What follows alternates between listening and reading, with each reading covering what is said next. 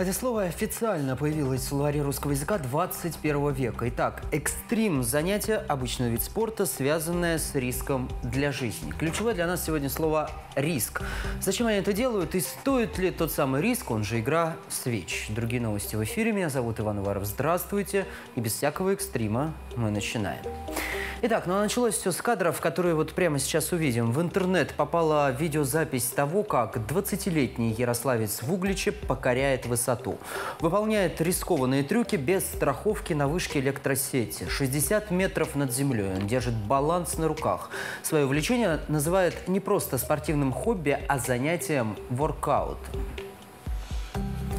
Ну а парень-то этот оказался не из пугливых, как вы поняли. Сегодня он вновь прогулялся, но уже по Октябрьскому мосту в Ярославле. И не один, а с моей коллегой Светланой Доброхотовой смотрим. С 20-летним Александром Маланичевым мы назначили встречу на Волжской набережной в Ярославле. Его фигуру сложно не заметить.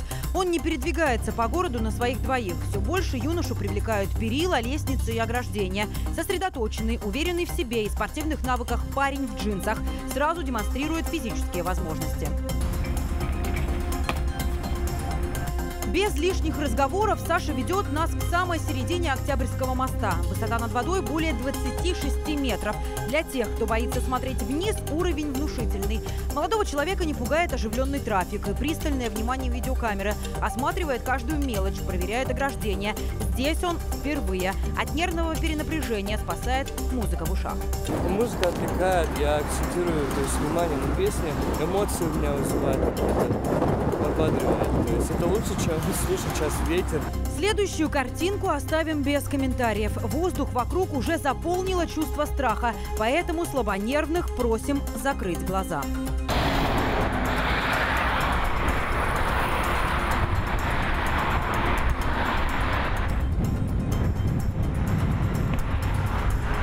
Шокировать публику молодому ярославцу удалось. Правда, радостных оваций Александр Маланичев не сорвал.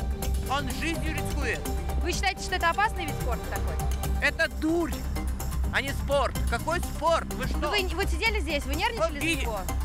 Мы, мы сидели, смотрели и думаем, ну дурак. Попытка привлечь внимание для молодого спортсмена-воркаутера не первая, да и высота, говорит слабовато. Вот в Угличе уже покорил 60 метров вышки электросети. Там выполнял опасные эпатажные трюки в погоне за адреналином. Вот на том видео вышка Гуглича. Какие эмоции испытывал? Э, Жуткий страх. То есть не, не, ну, не описать. Не каждый человек наверное, испытывает такой страх за жизнь. Мне кажется. А когда ты уже это сделал, такие? Э, опустошение эмоций, просто ноль эмоций. Видео слил в сеть, но тут не получил лайков, а только гневные комментарии. Риск бывает оправданным, а бывает не очень. Риск можно рассматривать как валюту. Покупать лайки и просмотры, подвергая жизни опасности, конечно же, можно, но, на мой взгляд, очень невыгодно. И видео ребята покруче, только они потом в плохих новостях героями становились. Это просто вопрос времени.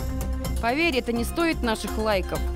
А вот Александр Маланичев считает иначе. Негативные комментарии заставляют кипеть кровь и разжигают чувство адреналина.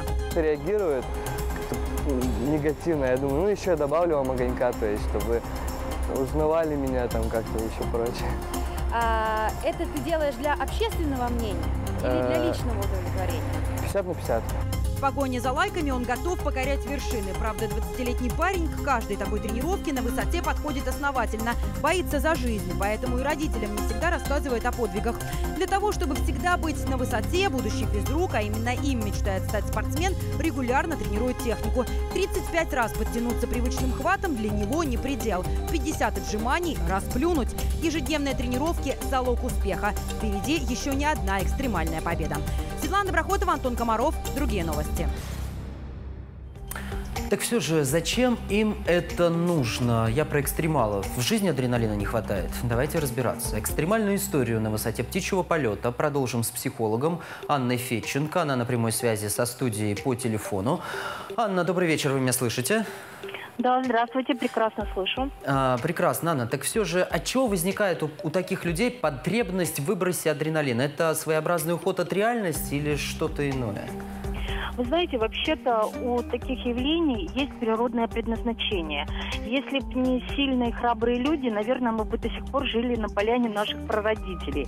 То есть именно первые первопроходцы, те, кто покорял моря, открывал новые континенты, для нас открывался космос, они как раз и были теми самыми, кого мы сейчас называем адреналинщиками, то есть смелыми, храбрыми людьми. Другое дело, для чего это делается? Или это делается ради какого-то социального прогресса, и это приносит пользу, или это просто пощекотать себе нервы. Вот э, как бы смысл в этом явлении есть. Вопрос, э, как им, человек, обладающий такой смелостью и природной склонностью познанию своих возможностей, как он этой способностью распоряжается. Ну хорошо, а, ну вот альтернатива этому есть, допустим, не столь экстремальная. Вот хочу я ярких эмоций на грани, что говорится. Что мне делать и куда бежать? Потому что ведь все-таки э, любой экстрим, он опасен для жизни. Ну, вы знаете, на самом деле это не очень простой вопрос, кто имеет право распоряжаться жизнью. Вы знаете, есть такое выражение, женщина знает, ради чего жить, мужчина должен знать, ради чего он готов умереть. То есть, э, конечно, среди экстремалов, как правило, больше мужчин, потому что это, ну, природное как раз предназначение быть смелым и храбрым. И вот он должен задать себе вопрос, ради чего, да, ради чего это все. И, конечно, это можно перенести, ну, на более социально приемлемые какие-то вещи, а не просто ради того, чтобы познать в жизни какие-то крайности. Ну, хорошо, это, но... я так думаю, вопрос, вопрос все-таки, знаете, такой морали нравственности. То есть вот ради чего я это все делаю. Ну а в психологии есть какой-либо диагноз, да, я не знаю, то есть ради чего эти люди это делают? Обоснование Психологи есть? выделяют два типажа. Вот э, именно эти типажи свойственны мужчинам, векторной психологии. Кто на такие риски готов? Это, с одной стороны, люди-лидеры. Вот они как раз это э, свое предназначение направляют в социально приемлемое русло. Такие вожди, э, может быть, они и как раз встречаются среди летчиков, испытателей, там, среди альпинистов. И, с другой стороны, есть другой типаж. Это люди, которые получают получает наслаждение от жизни. Как ни странно, это вот одна из форм ну, такой зависимости. И м- здесь уже надо уметь устанавливать себе границы. Спасибо вам большое за детальный такой подробный разбор и рассказ. Психолог Анна Федченко была на прямой связи со студией по телефону, ну а мы идем дальше. Но, тем не менее, их ничто не останавливает. Жажда эмоций и адреналина загоняет, загоняет их на небоскребы, выше облаков и прочее, прочее, прочее. Но заканчиваются эти истории порой трагично. И вот лишь несколько случаев из мировой практики экстремалов. Обычный майский день для экстремалов-парашютистов из Татарстана закончился трагедией. Во время свободного падения два экстремала столкнулись друг с другом. Момент запечатлела экшн-камера одного из участников массового прыжка. Спортсмены приземлились на запасном парашюте, но медикам спасти их не удалось. По словам работников аэроклуба, у каждого из погибших был большой опыт, не менее 600 прыжков. А, всем привет, мы на Экзите Превент. А, там внизу Шамани. Не прыгал 4 месяца, поэтому немного страшно поэтому неизвестно, что будет там внизу. В октябре 2016-го весть о гибели известного российского спортсмена Ратмира Нагимьянова разлетелась по всему миру. Уральский бейс-джампер разбился, выполняя опасный прыжок в районе горнолыжного курорта Шамани во Франции.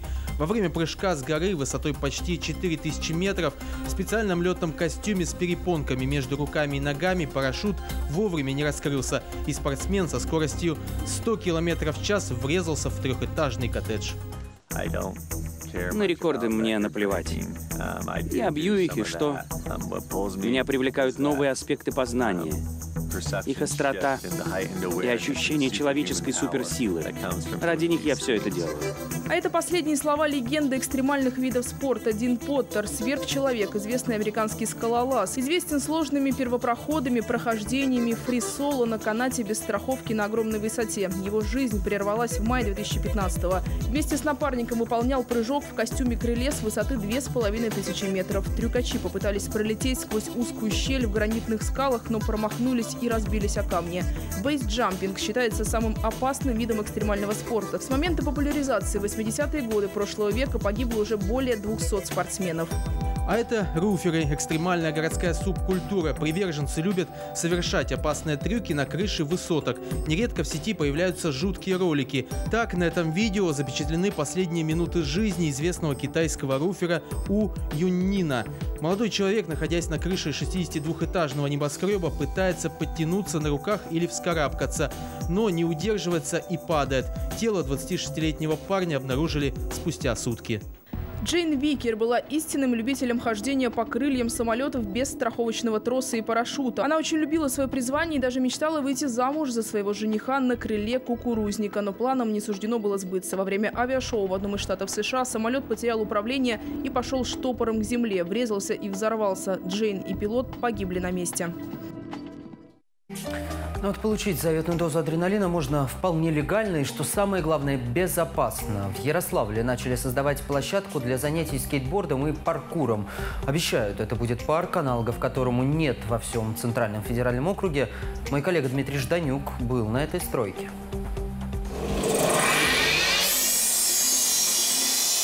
Эту мастерскую легко найти по звуку пилы. Станки молчат лишь во время обеда. В углу гора стружки, посередине в ряд лежат большие доски. Из них сделают уникальный экстрим-парк для занятий на скейтборде, который будет находиться под крышей. Работа ведется ежедневно, то есть э, непосредственно в цеху около 10 человек работает, ну и там примерно столько же работает на сборке. Доски из сосны сначала сушат, затем изготавливают детали. Готовые материалы отвозят на место. Парк строят на территории маяка. Каждая деталь пронумерована маркером. Перед сборкой дерево обрабатывают от огня и воды. И только потом монтируют. Уникальный для нашей страны парк пока готов лишь на 10%. Скоро можно будет лицезреть трамплины и поролоновую яму. Новая площадка для занятий экстремальными видами спорта даст толчок для развития в регионе, недавно вошедшего в программу Олимпийских игр скейтборда. Это все у нас засыпало, как только приходила осень и плохая погода, как сейчас, да, и все тормозилось на полгода, да. И сейчас будет возможность заниматься этим круглогодично. Здесь появится и спортивная школа. Занятия в ней будут бесплатными. Саму площадку сделают доступной для всех желающих за символическую плату. Рядом появится еще одна площадка для занятий паркуром. Это будет большая площадка, примерно размером 12 метров в ширину и 36 метров в длину.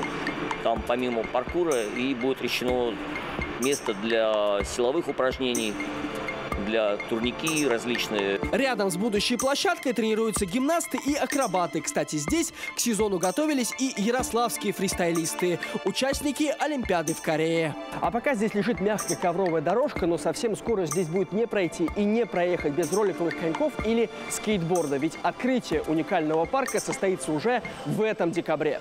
Дмитрий Жданюк, Евгений Бушуев. Другие новости. Что ж, все, что вы видели выше, пожалуйста, не повторяйте. Ну, не скажу, что трюки выполнены профессионалами, но для жизни, как вы понимаете, они опасны. Давайте искать яркие эмоции и стремиться за выплеском адреналина, если вам оно, конечно, нужно, где-нибудь в менее экстремальной обстановке и без риска для жизни. Спокойно и без лишнего адреналина мои коллеги из программы «День в событиях» подведут итоги этого дня. У меня на этом все. Хорошего вечера.